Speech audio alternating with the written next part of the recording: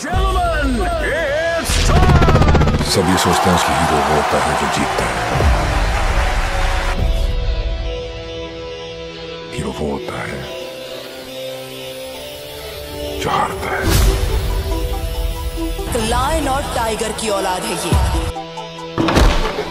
Hello and welcome to बॉलीग्राउड studios दोस्तों actors पहले कुछ भी कह देते हैं, लेकिन जैसे जैसे फ़िल्म की रिलीज़ डेट करीब आती है जैसे जैसे बाइकआउट का जो ये मुहिम जो चल रहा है, वो उन पर हावी होता है वैसे वैसे इन एक्टर्स की सुर ताल सब कुछ बदलने लगता है। पहले करीना कपूर खान को आप देख लीजिए, उनकी स्टेटमेंट क्या थी और बाद में क्या हुआ? आमिर खान के स्टेटमेंट की बात कर ले तो उनके भी सुर बदले।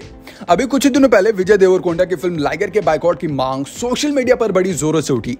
हालाँकि बाद में इस पर एक्टर ने चुप्पी तोड़ी थी, और उन्होंने कहा था कि उन्हें बाइकआउट से डर नहीं लगता। उन्होंने कहा था कि क्या इस बाइकआउट के डर से क्या अपनी फ़िल्में रिलीज़ करना छोड़ दे? विजय देवरकोंडा के इस बयान के बाद उनको सोशल मीडिया पर काफ़ी ट्रोल भी किया गया। लेकिन अब जब फ़िल्म रिलीज़ होने के लिए बहुत करीब आ गई है, लगभग 48 घंटे रह गए हैं तो अब उनके भी सुर ताल पूरी तरह से बदल गए। उन्होंने कहा कि करण जौहर, चारमेम कौर, पूरी जगन्नाथ और फ़िल्म की टीम के बाकी लोगों के साथ कोरोना महामारी के बीच फ़िल्म को पूरा करने के लिए तीन साल तक कड़ी मेहनत की। तीन साल पहले साल 2019 में हमने इस फ़िल्म की शुरुआत की। उस समय पर यह बाइकआउट बॉलीवुड नहीं था। यह सब लॉकडाउन में शुरू हुआ और हम उस समय तक शूटिंग शेड्यूल में आ चुके थे। उस समय हमें लगा कि हमारी फ़िल्म को पूरे भारत में ले जाने के लिए करण जौहर सर से बेहतर कोई विकल्प नहीं है, कोई ऑप्शन नहीं है। हमने उनसे फ़िल्म को हिंदी में रिलीज़ करने को कहा तो वो बहुत एक्साइटेड हो गए। और हमें नॉर्थ से काफ़ी अच्छा रिस्पॉन्स भी मिला। एक्टर सिर्फ़ यही नहीं रुके। उन्होंने सबसे पहले बात की स्ट्रगल के बारे में। वो बताना चाह रहे थे कि वो सेल्फ मेड एक्टर है। और यहाँ तक पहुँचने के लिए काफ़ी स्ट्रगल किया है। उन्होंने कहा रिस्पेक्ट के लिए लड़ना पड़ा। इस दुनिया में मेरी जगह के लिए लड़ना पड़ा। काम के लिए लड़ना पड़ा। हर पिक्चर एक लड़ाई था। जो मेरा पहला पिक्चर था, उसे प्रोड्यूसर तक नहीं मिल रहे थे। हम सभी ने फ्री में एक्टिंग किया। पिक्चर बनाने के लिए फिर लोगों को प्यार मिला और वो पिक्चर बहुत बड़ी हिट हुई।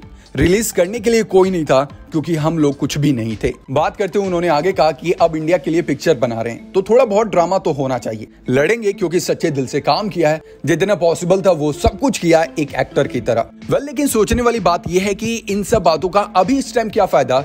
और अभी ये सब क्यों कह रहे हैं विजय देवरकोंडा? हो सकता है कि प्रोड्यूसर्स ने कहा कि आप ज़्यादा पंगा मत लो नहीं तो लेने के देने पड़ जाएँगे और इसीलिए लग रहा है कि उनके सुर बदल चुके हैं। वेल इसके बाद का डिसीज़न आप लोगों पर है कि आप लोगों को क्या करना है। या अभी भी करण जौहर को बाइकआउट करना है क्योंकि उन्होंने फ़िल्म बनाई है। उन्होंने ऐसे बहुत से बयानबाजी किए हैं जिसकी वजह से लोगों का दिल दुखा है।